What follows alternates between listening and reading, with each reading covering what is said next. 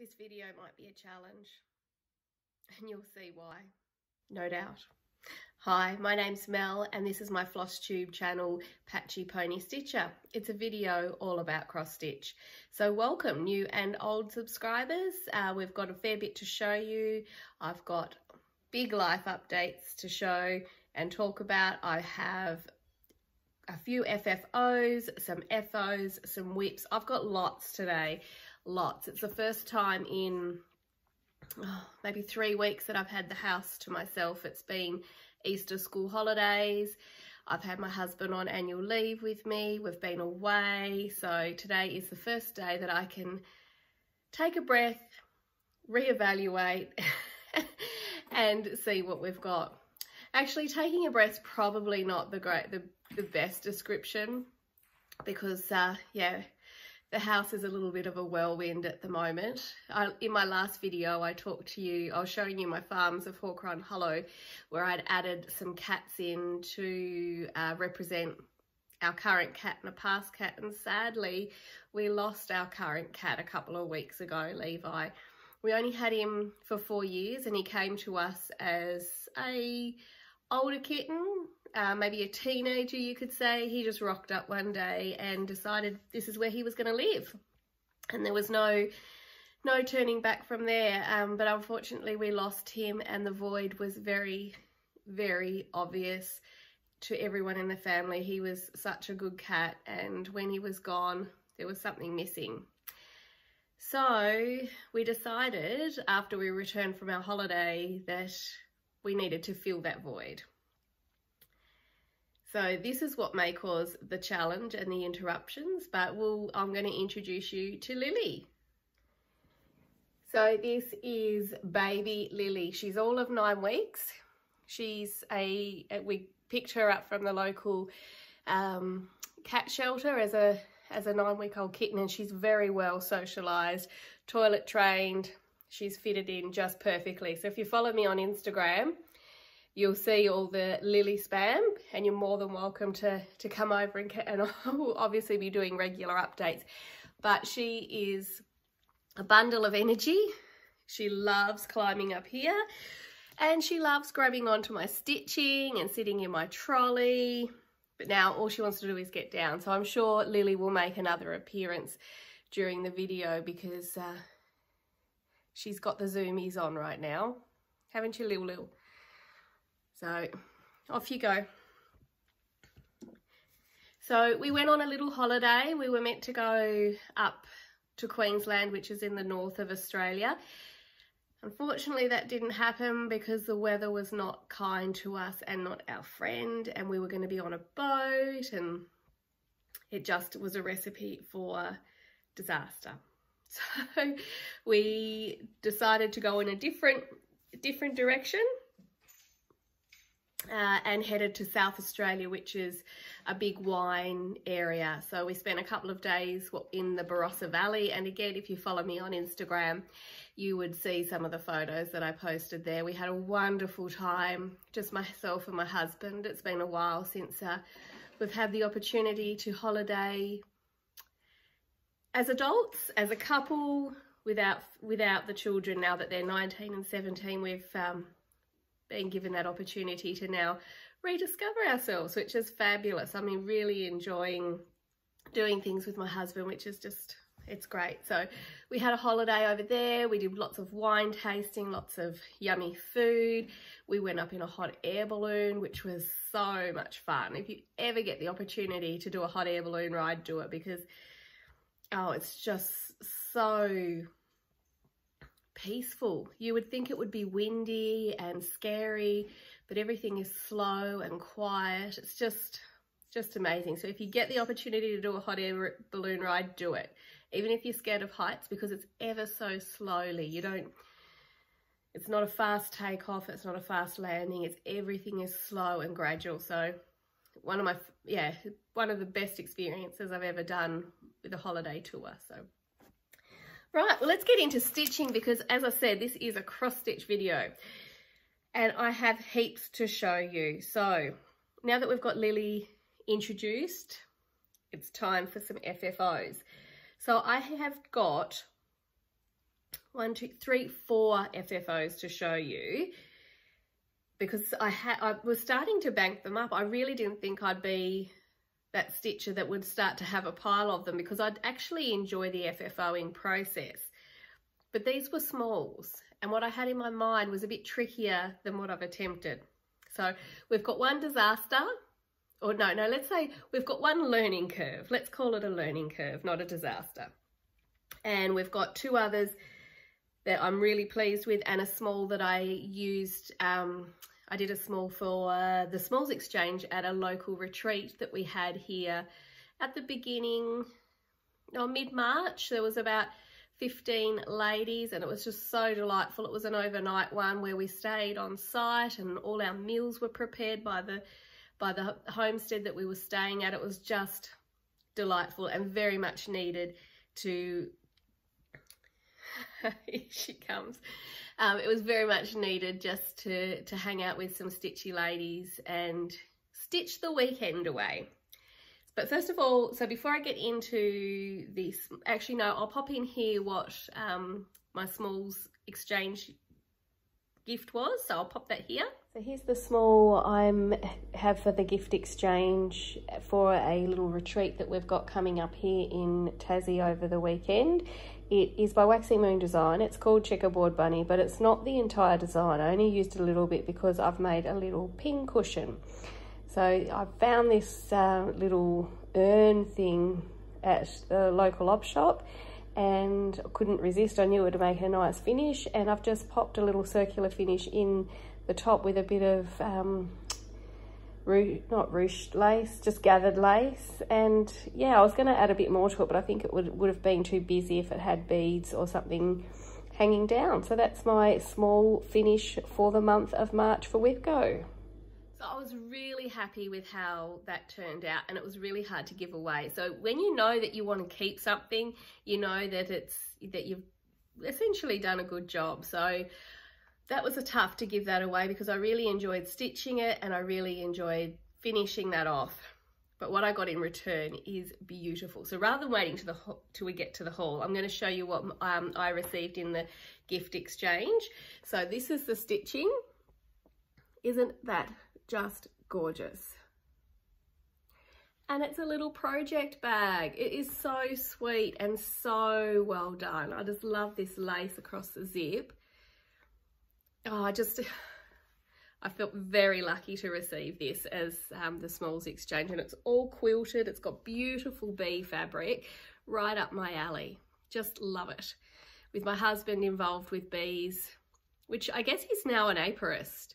Is that the word? Yes. We've got an apiary. We've got like uh, maybe 30 hives now and they're continuing to expand and get more and more all the time. But anyway, back to stitching. So very, very lucky girl to receive. And I was the last one to, because we used a random, random number generator to choose who would go up and you would select a parcel and it was unmarked. So you didn't know who it was from and so forth. So I was the last number picked and this is what, um, what was left in the last parcel. And I think I got one of the best ones. So very, very happy with that. Okay, on to my finishes. So first of all, I'm going to show you the learning curve. So the learning curve was the Spring Bunny Love um, finish that I had. And I wanted to do, I'll show, put a photo here of the unfinished, just the stitching. We'll put that there. Okay, so there's the stitching. And I wanted to finish this into an Easter egg shape which was probably a little bit ambitious for someone who doesn't use a machine a lot. And I wanted to do pom-pom trim and I've done pom-pom trim before where I've sewn it on after the event. But with this one, I actually wanted to sew it in. So I cut the shape out. I'm just gonna have to show you. it's not my best work, but anyway, we're all learning, aren't we? So here,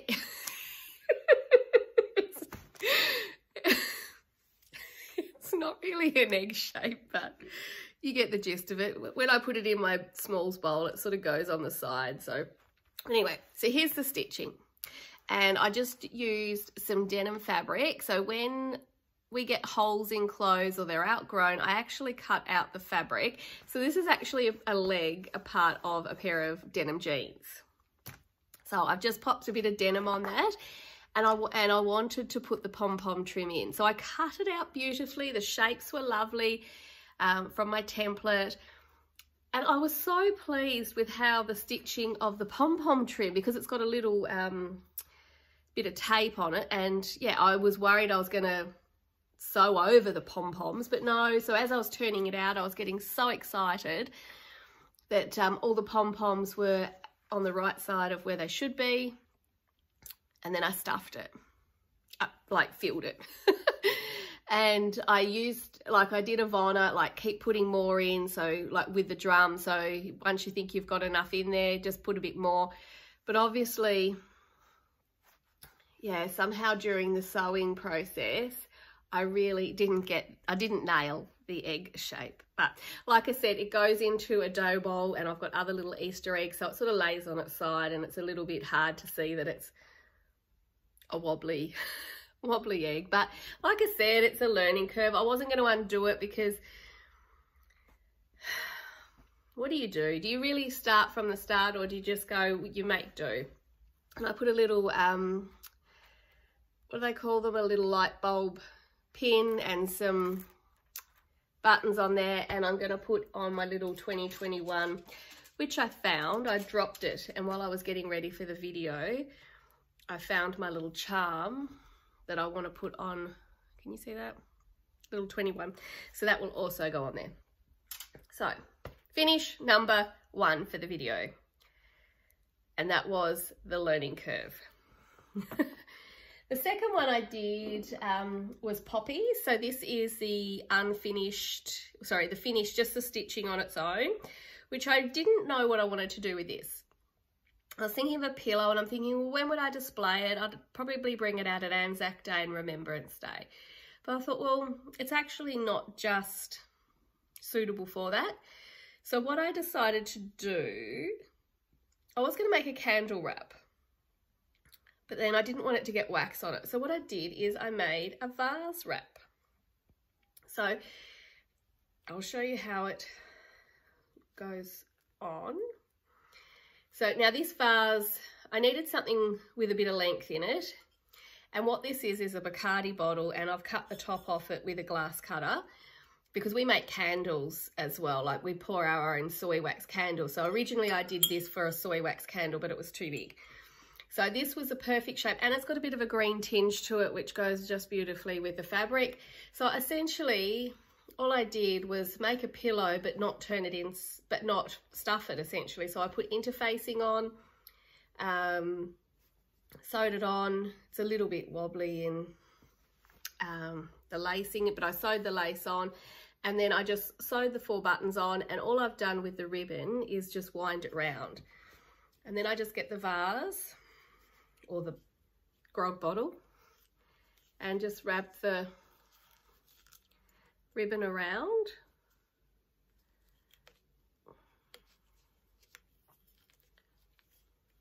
There you go. And that will look beautiful with poppies in it or any other sort of flowers. And it's a versatile piece that I can actually use. And that's just sitting on my sideboard at the moment, displaying the actual stitching. So I was really pleased with that and how that turned out. And it's it's something that I'd um, think about doing doing at another time for different finishes. So that was my poppies. Now, the finish that I am wrapped with. This is Jingle Bells. Now, I have given the chart away already for this one, so I can't remember um, who the designer is. And when I finish this, I don't think I ever showed you because it was a pillow and I was waiting on the pom-pom trim to put on and then I just changed my mind because I thought, what am I going to do with this round pillow? So I actually undid the pillow and made it into an ornament. So I've got two pieces of um, what do you call why do we forget words when soon as the video is on? I just don't understand it. I've got two pieces of foam core and just plain fabric on the back. Well, not plain fabric, isn't that stunning fabric? And then I've got wadding on the front of this one.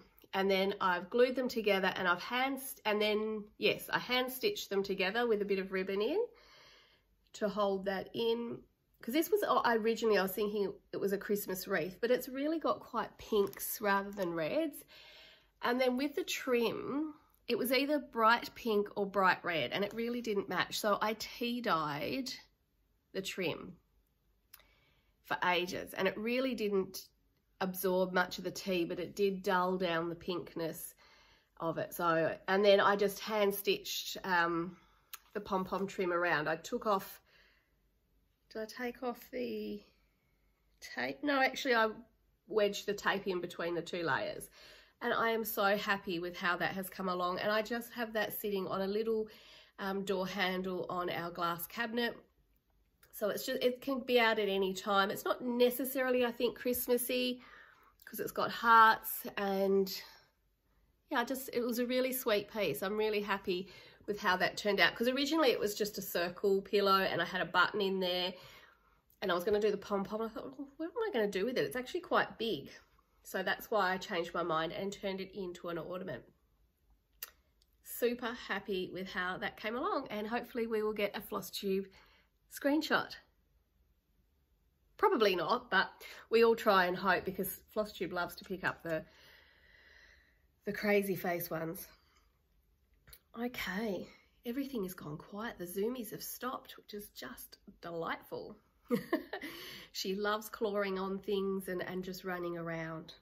Okay, so finishes.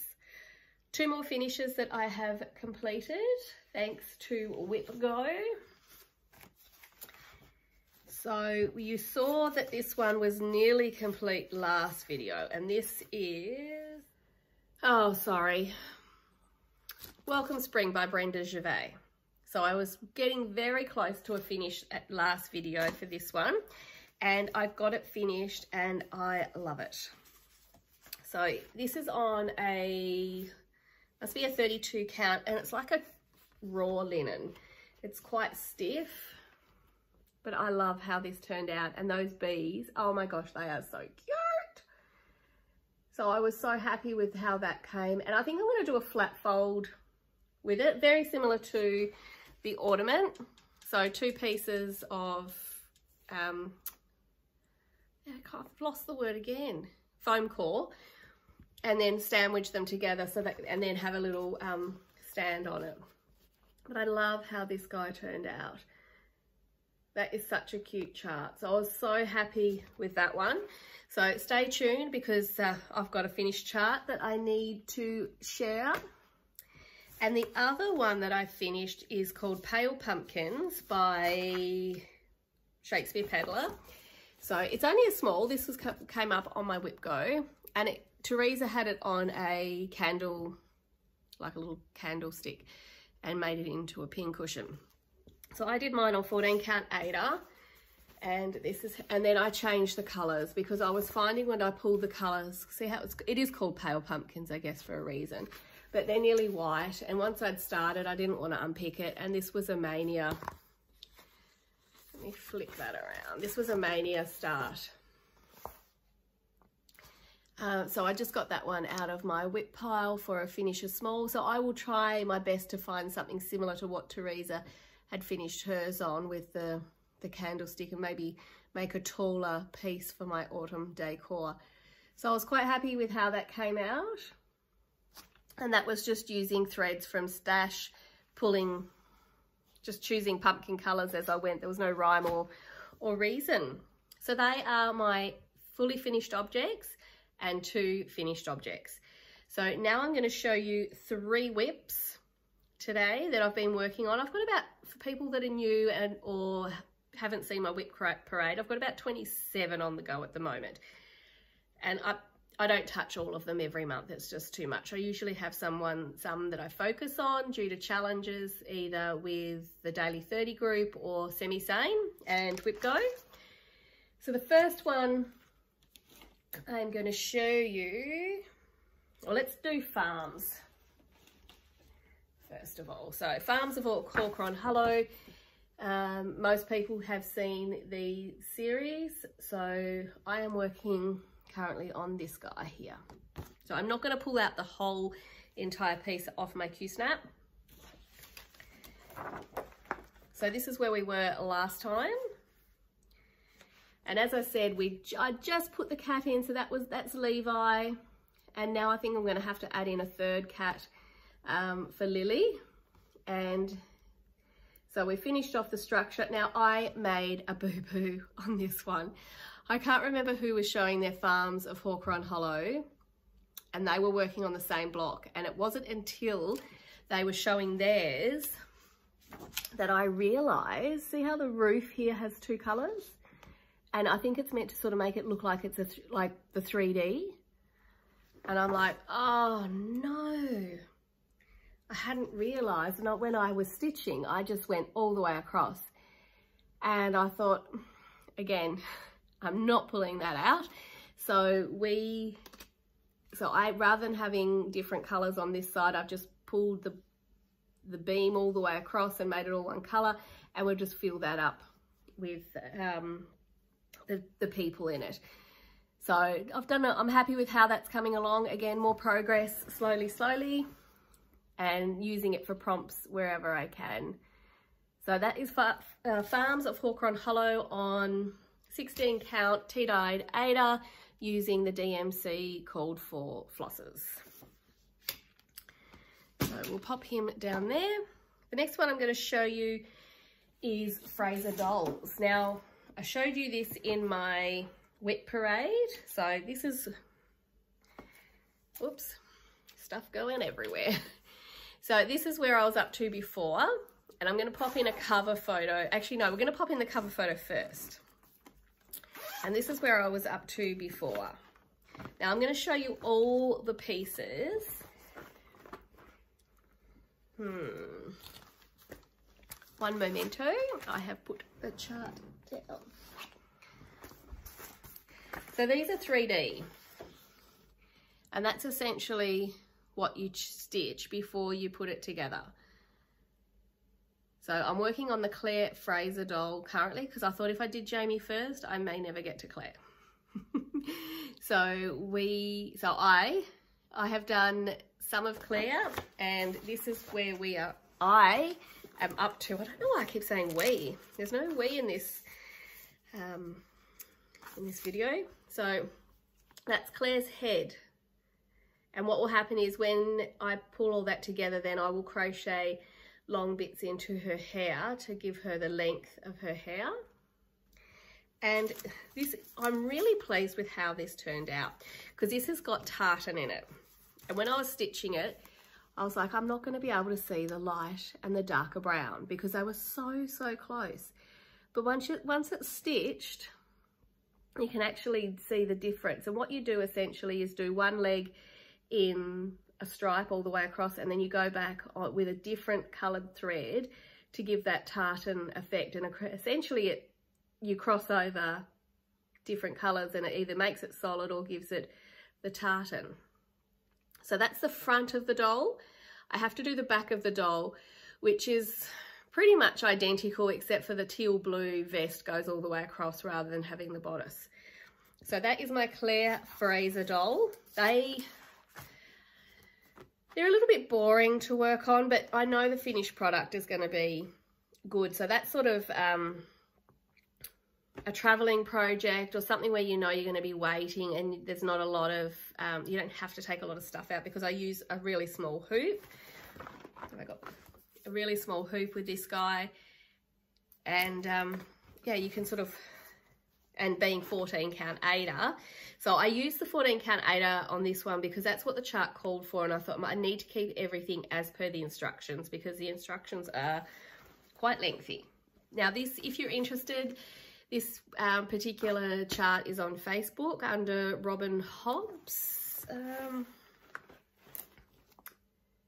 Yes, Robin Hobbs on Facebook, and there's all sorts of different characters from Star Trek, lots of um, TV show characters. So if you're interested and want to have a browse, check out Robin Hobbs, so R-O-B-I-N, Hobbs on Facebook and uh, you can purchase those charts that way.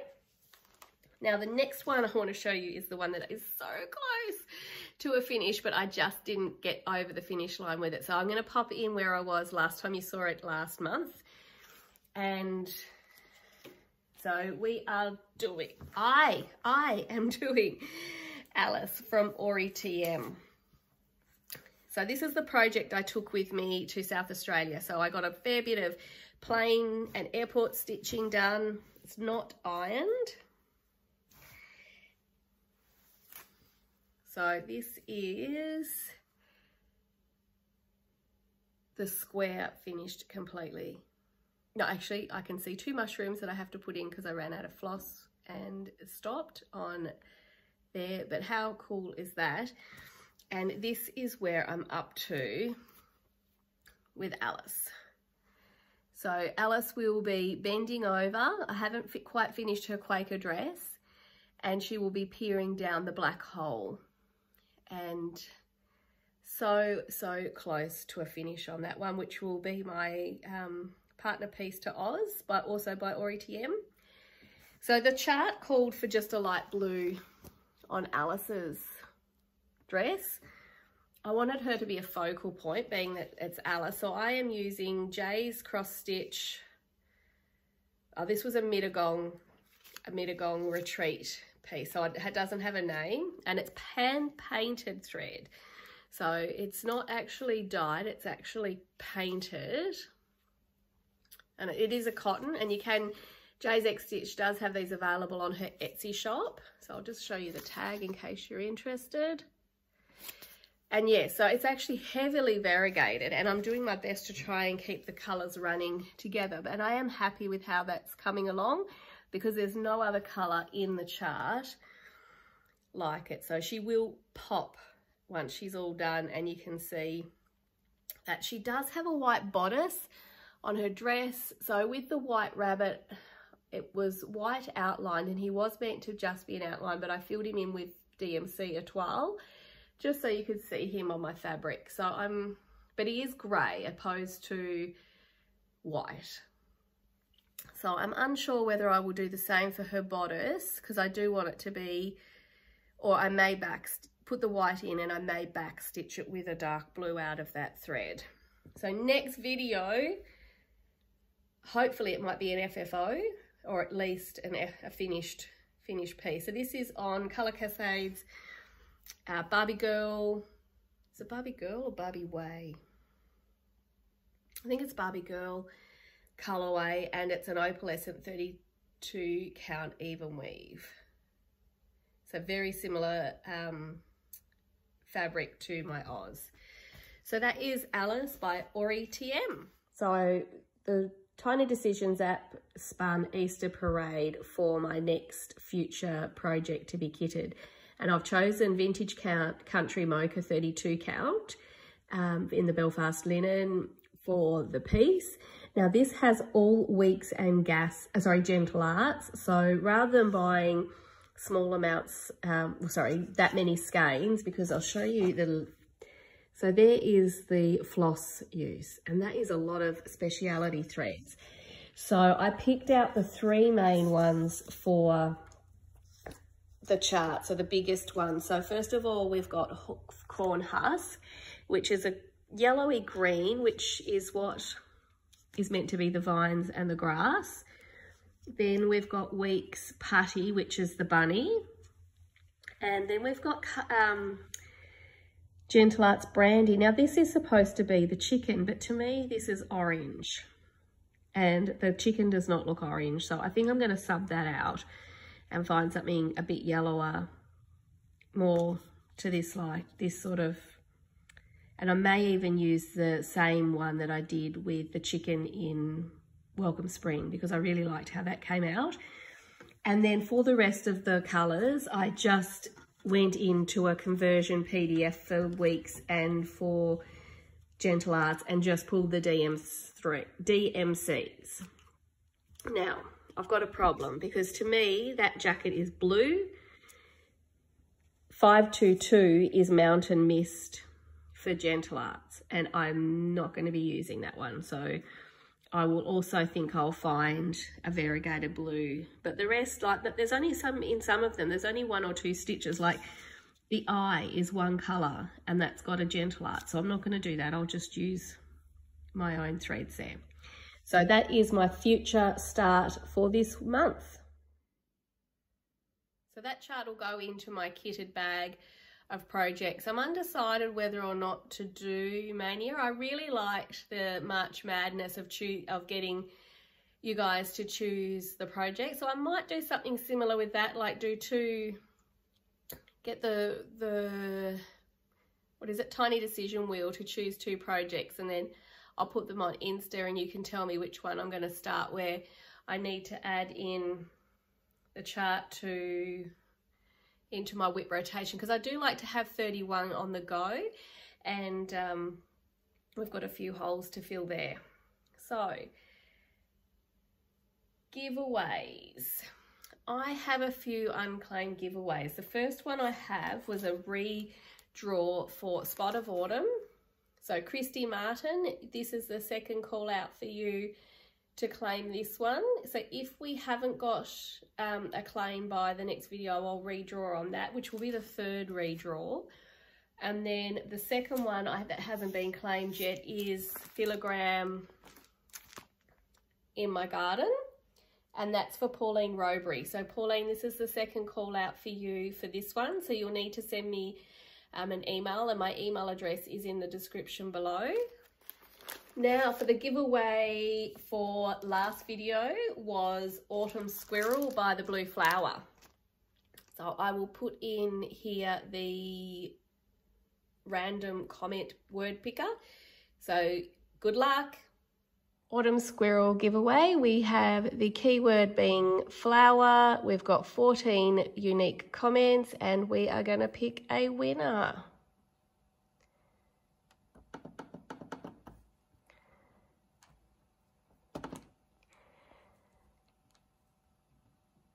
It's Craft and Chris. Congratulations, Chris. I'll just scroll down and see what your comment says.